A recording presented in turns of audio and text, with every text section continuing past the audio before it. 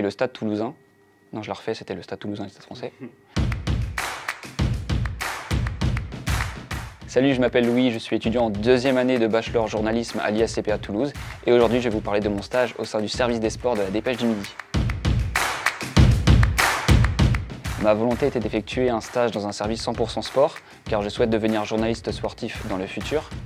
C'est la raison pour laquelle j'avais coché le nom de la Dépêche du Midi lors de mon tout premier stage donc à ce moment-là, euh, je profitais de mon temps libre pour travailler sur mon CV que je réalisais sous le format de la dépêche du midi. Pour cela, je pouvais m'appuyer sur mon formateur de maquette, Sébastien Marcel, qui m'a aiguillé et m'a donné des, petites aides. Donc Sébastien Marcel est également responsable desk web à la dépêche du midi, ce qui fait que lorsque j'ai envoyé ma candidature, il en a touché deux mots au chef des sports de la dépêche, donc Jérôme Lacroix, qui, en plus de ma lettre de recommandation de mon premier stage, m'a fortement aidé à trouver euh, ce stage à la dépêche.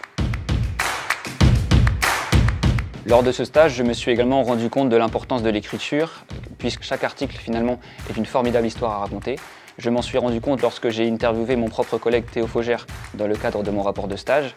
J'ai également pu bénéficier de nombreux conseils de la part de mes collègues ou de professionnels lorsque j'ai eu des accréditations en tribune presse, en conférence de presse, mais également lors des reportages que j'ai effectués.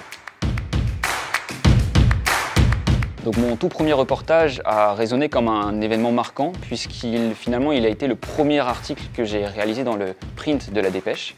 Donc le lendemain de Noël, la rencontre de Boxing Day entre le Stade toulousain et le Stade français a été annulée. Donc j'ai dû me rendre sur place afin de récolter le témoignage de personnes qui n'avaient pas été informées de ce report. C'est vrai que c'était assez compliqué, j'étais livré à moi-même, c'était mon premier article et il y avait un peu de stress, mais finalement je suis parvenu à récolter de nombreux témoignages et à réaliser un article qui a plu à mes collègues.